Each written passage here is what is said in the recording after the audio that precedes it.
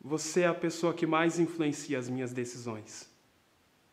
Eu me espelho em você para buscar ser uma pessoa melhor.